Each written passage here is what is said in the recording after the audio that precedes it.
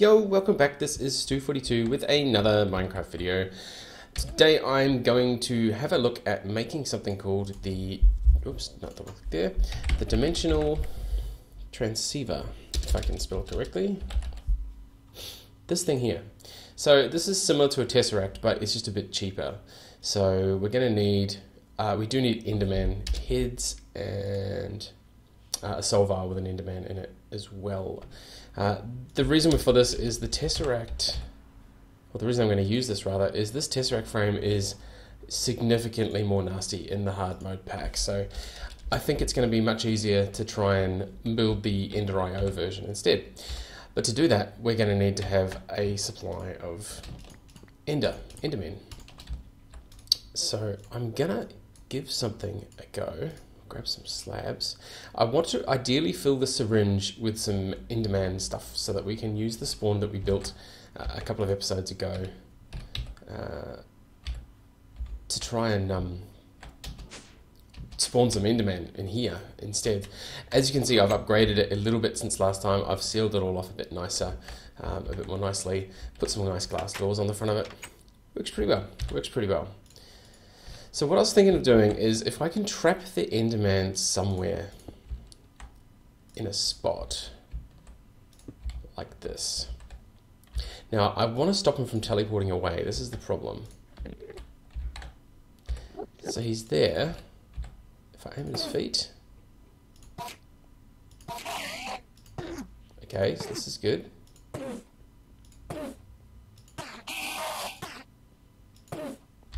We get 100%? Essence level 100%. Cool. And let's... Ha! Alright, so that worked way better than I expected. Way, way better than I expected. So now, what we want to do... What we want to do is see what we need to spawn an Enderman. Pretty easy stuff. Some Endstone, uh, again 0.1 of an ender Enderpearl, so one ender Enderpearl will give us 10 Enderman. That's a pretty good way of controlling uh, how many we spawn. Uh, yeah, pretty cool. All right, so the other thing that we're going to want to do this is some way of getting their heads nicely. Now, there is a thing called, where is it? The Ender. So the Ender, increased skull and ender pearl drops. Awesome and you can empower it with a vibrant crystal. Fantastic, cool. So we just need uh, some stick and some dark steel. Dark steel being uh, obsidian, coal dust, and iron. I don't know if I've got any of that stuff, so I'm going to run away and make myself an ender. I'm also going to probably empower it with a crystal, which I can do in my soul binder. I do happen to have, uh, no, not that chest. I do happen to have a soul vial with an enderman ready, so we can make our first vibrant crystal. Uh, so I'm going to go away. I will make myself the sword, get some more soul vials, and we'll see what we can do about converting our spawner over to spawning some endermen, uh, which will let us in turn make some dimensional transceivers, which again is like everything in Minecraft, this is something we need to do something else I want to do in a, in a future episode. In fact, probably the episode just after this one, because uh, we're going to need some wireless power for the thing I want to do. So, see you back here in just a moment. Okie dokie, we have ourselves a bunch of vibrant crystals. Uh, I've got a soul vial with an enderman in it already, a couple of empty soul vials, and the ender. So let's just grab some experience out of the tank.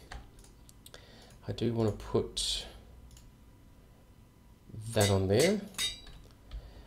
Just empower the sword, which will let us charge it up. Ta-da! Cool. So plus two damage when powered. Cool. That's awesome. So I can put a basic capacitor uh, to give empowered two on it. Actually, that'll be really, really easy to do because I have a basic capacitor. Need some more levels. Can't remember how many it was, but sure. Let's put that in the basic. Cool. 60% damage absorbed by power. Seems reasonable. Oh, and I took all the power out of it again. Okay, so quick power up again, 150,000 RF.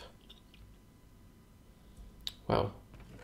Empowered 3, travel, ender crystal plus 30 levels. Hmm. Alright, that'll do for now. So, what do we need? We're going to need ourselves an ender pearl to help spawn the stuff. We're going to need a bunch of seeds again.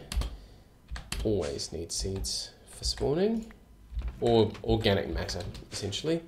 So let's grab the seeds, and what else was it? I think it was, was it soul sand again? Something, let's have a look. It was, ah, endstone. Endstone, endstone, endstone. Now this is pretty easy. We've actually been to the end now and we have a, a book set up to go there. So I have, yeah, a stack of endstone will do. Cool. So let's shut the doors. We'll throw our one ender pearl in. We'll throw 20 of those in. And then we'll throw, I always throw seeds in the close one, so that's cool. So let's go seeds, that, that. Now, oh, we get two of them. Okay, so let's grab our ender and stops him from warping, which is good. No heads though. Hmm. No heads. Oh, and another one spawned. Wow. Got a head yet? No. No head yet. Wow. Nasty noise, nasty noise. Okay, so that's yeah, that's working reasonably well. Let's throw another 20 endstone in there. That's getting us more endermen than I thought we would be getting, to be honest.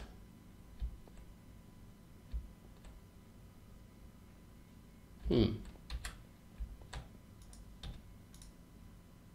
Alright, the last one's still gone.